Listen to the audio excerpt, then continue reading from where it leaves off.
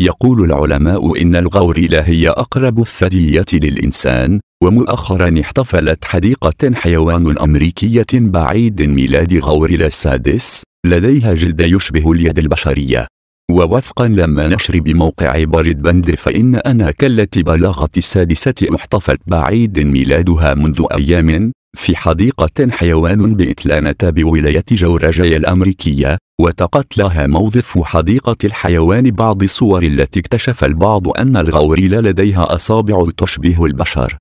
ففي تلك اليد لا توجد شعر أو صبغات حيث إن بشرتها وردية اللون مثل البشر ما يجعلها تشبه الإنسان تماما كما هو الحال مع جميع أنواع الغوريلا فإن يد أناك بها إبهام وبصمات فريدة يمكن للباحثين استخدامها للتمييز بين الغوريلا وبعضها البعض المثير للدهشة فإن يد أناك البشريات تحتوي على أظافر قصيرة بدلا من المخالب ويعتقد العلماء أن تلك الحالة مرضية فهي ببساطة تعاني من البهاق وقلة التصبغ الذي صنع هذا التشابه المدهش وفرط التصبغ هو مجرد مشكلة جمالية ولا يشكل ولا تهديد للصحة وحتى الآن لا يوجد علاج عاكس لمرض البهاق ومن بين أكثر الأسباب شيوعا التي تسبب البهاق هي الوراثة وإل تتسبب أنواعا وأمراض جلدية مختلفة مثل المهاق.